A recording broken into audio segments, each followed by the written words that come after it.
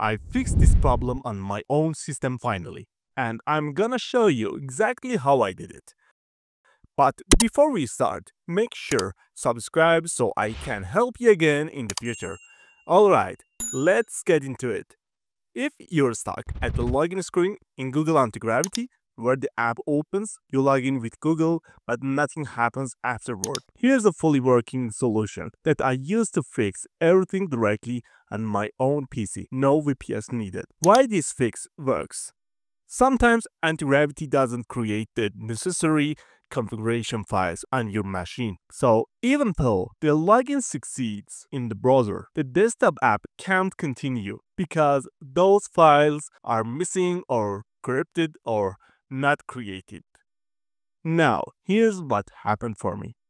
I reinstalled anti-gravity on my PC and, and kept trying to log login. Eventually, anti-gravity logged in successfully one time. Although you can do it in uh, a VPS or other system that can log it, which was enough to generate a working configuration folder.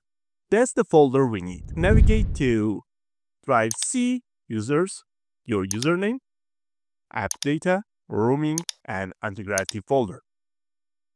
Inside this folder, anti-gravity stores login tokens, session data, required startup files, internal config. Now, once you found the folder that was created during the successful login, copy it, and your system, the one stuck at login, go to Drive C users your username app data roaming.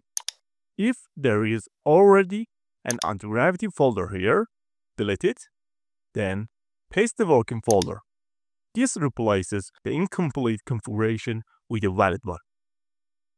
Now, open the app again. The broken login step gets skipped, anti-gravity opens immediately. Everything loads normally. Problem solved.